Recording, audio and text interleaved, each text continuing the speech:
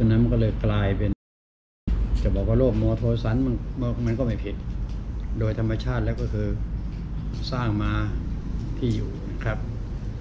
มีเท่าไหร่บางคนก็โอเวอร์จนกระทั่งเกินจำเป็นประมาณนั้นนะครับใช่ไหมของอยู่ของกินก็กินกันล้นปากล้นท้อง กินกันแบบไม่หวานยาเป็นยังใช่ไหมของใช้ก็เหมือนกันหรูหราอู้ฟู่กัน อ้าว ของเก็บอ้าวมือใครยาวก็สาวได้สาวเอา เก็บกับตุนไปใช่ไหมครับเผื่อคนรุ่นต่อๆไปอีกลูกหลานเลนหลนถ้าเราไม่รู้เนี่ยฮะพระองค์มองเห็นสิ่งเหล่านั้นล่วงหน้า ก็เลยมาตักเตือนมนุษย์ซะว่า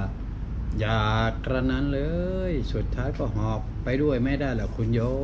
มอย่างเงี้ยใช่ไหมอย่ากระนั้นเลย สุดท้ายแล้วก็หอบไปด้วยไม่ได้หรอกคุณโยม พูดมาสองพันกว่าปีแล้วนะทุกวันนี้ก็ยังไม่ลดลาวาสอกเออก็เอาเอาเอาเอาเอารวมความแล้วก็บอกโอ้นี่เลยคือ กิเลสอีกแหละกิเลสคือความต้องการอย่าคิดมากอืมหิวต้องการกิน มันก็เป็นกิเลสหนาว ต้องการเครื่องนุ่งห่มมันก็เป็นกิเลส ร้อนต้องการอาบน้ำชำระ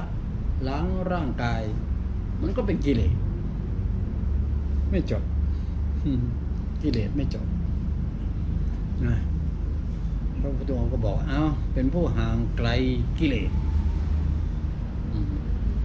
ห่างไกลกิเลส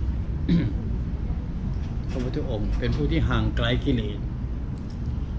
ทำไมไม่บอกว่าละกิเลสได้แล้ว มันห่างไกลก็เหมือนกับ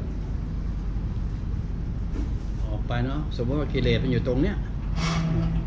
ตรงโต๊ะ